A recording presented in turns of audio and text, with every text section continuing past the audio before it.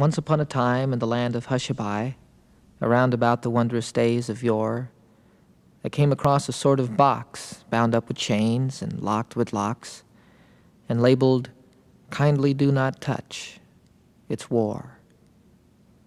A decree was issued round about, all with a flourish and a shout, and a gaily colored mascot tripping lightly on before. Don't fiddle with this deadly box, or break the chains, or pick the locks. And please, don't ever play about with war. Well, the children understood. Children happened to be good, and they were just as good around the time of yore. They didn't try to pick the locks or break into that deadly box. They never tried to play about with war.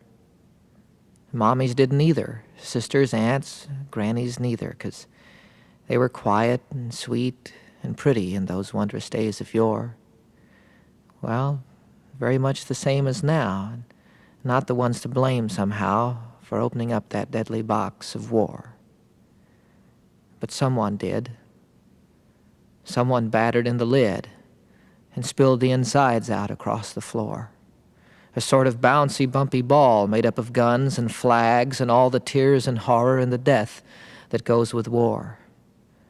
It bounced right out and went bashing all about and, and bumping into everything in store. And, and what was sad and most unfair is that it didn't really seem to care much who it bumped, or why, or what, or for.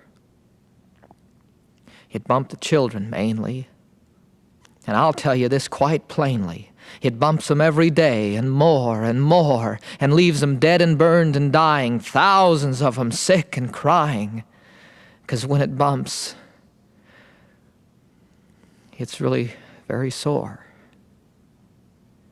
Now, there's a way to stop the ball. It isn't difficult at all. All it takes is wisdom. I'm absolutely sure that we could get it back into the box and bind the chains and lock the locks. No one seems to want to save the children anymore. Well, that's the way it all appears, because it's been bouncing round for years and years, in spite of all the wisdom whiz since those wondrous days of yore. And the time they came across the box, bound up with chains and locked with locks, and labeled, Kindly Do Not Touch. It's war.